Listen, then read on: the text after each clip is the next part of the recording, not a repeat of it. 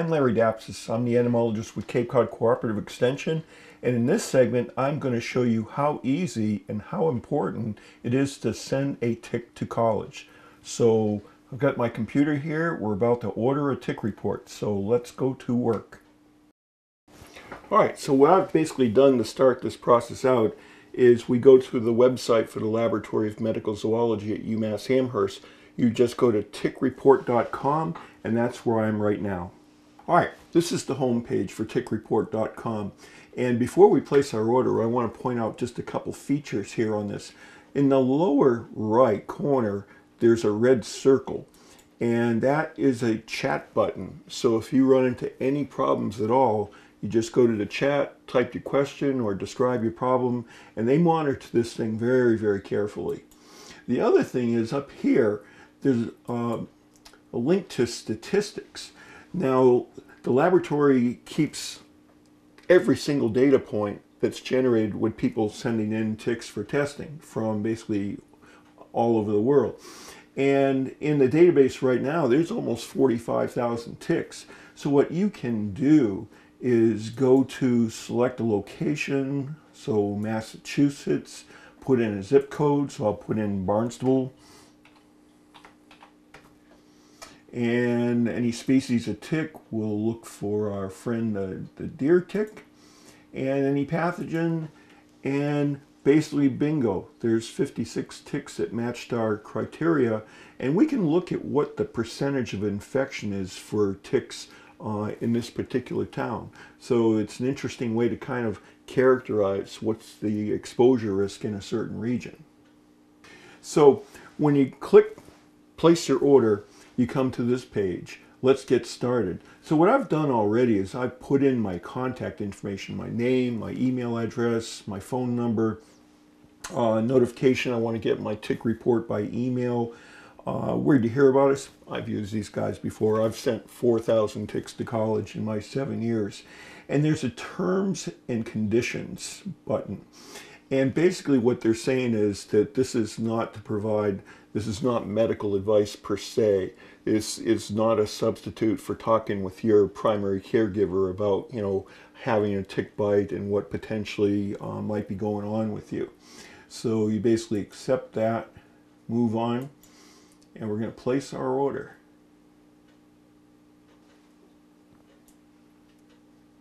All right, so now we're going to choose what package we want. Uh, there are three different ones we can choose from.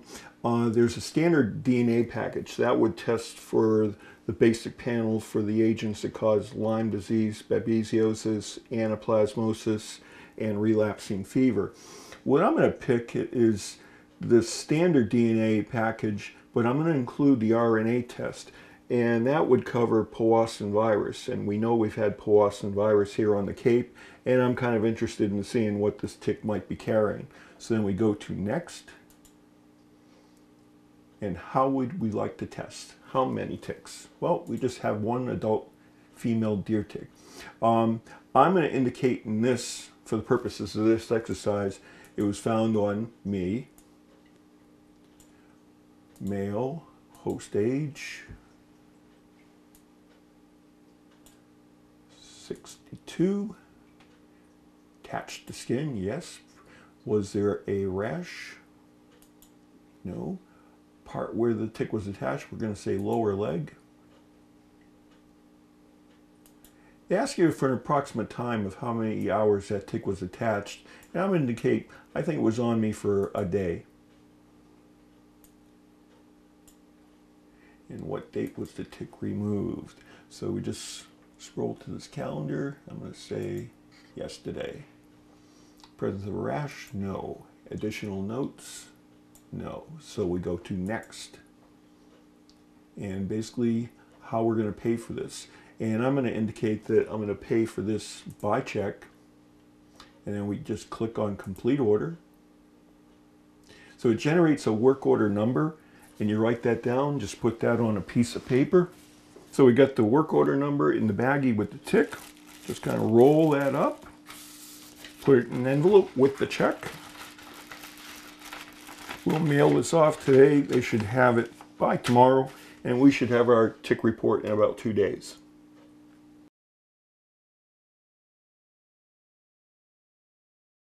So we received a tick from Larry Dapsis, who sent it from Cape Cod. Um, I'm going to open his envelope and take the tick out so that I can identify it before it gets tested. So I need to get the tick out of the bag. All right, now that the tick is under the microscope, we can actually identify what type of tick it is. Different ticks pose different risks because they carry different pathogens. So I can see that this is an adult female deer tick, and it's been feeding for some time. So I'm going to take a picture of the dorsal side right now, and then we can upload those images to the tick report. And then I'm going to flip the tick over.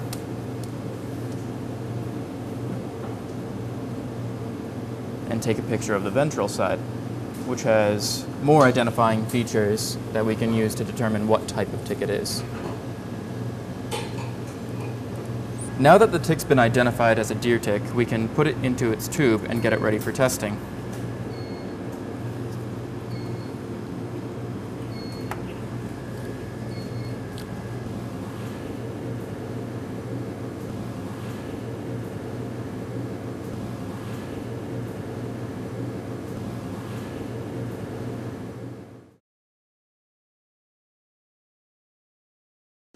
All right, it's been two business days.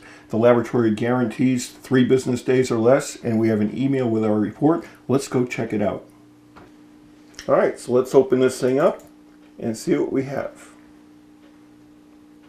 So we click on private tick report, and here we go. So on the right hand side, we have just to make sure it's our report, we have all of our correct contact information. Um, yeah, okay, very good. And one of the things they do is they they send us back pictures of the tick um, from the top side and on the bottom side. And this tick has been feeding for, it's partially fed. So this tick was feeding for at least 24, if not 48 hours. Plenty of time to transmit any of these pathogens. And the headline on this is it's not just about Lyme anymore. We're up to five different pathogens that this deer tick can transmit. All right, so here's our data. Uh, this tested positive for Borrelia burgdorferi. That's the pathogen that causes Lyme disease. And if this tick was attached to me for 24 to 48 hours, that's plenty of time for transmission.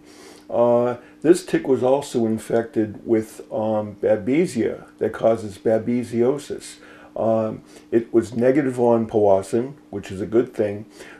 All right, so now we've seen our data. Uh, let's talk a little bit about what this means. Um, it tested negative for Powassan virus. That's a good thing. Uh, Powassan can be uh, very, very serious. It's fatal in about 10% of the cases. And since we have found Powassan infected ticks uh, on Cape Cod from Falmouth all the way out to Truro, this is why I was particularly interested in that pathogen. The other reason is that the transmission time for Powassan isn't 48 hours, um, it's 15 minutes. So now we have two positives, one for the agent that causes Lyme and the other agent that causes babesiosis. So we have this co-infection, and this is something that we find very interesting, and we're trying to raise awareness in the medical community and the general public that last year, 2017, of all the ticks that were tested from Cape Cod residents, 13% uh, of them were co-infected, meaning they were packing two pathogens, three, sometimes even four pathogens.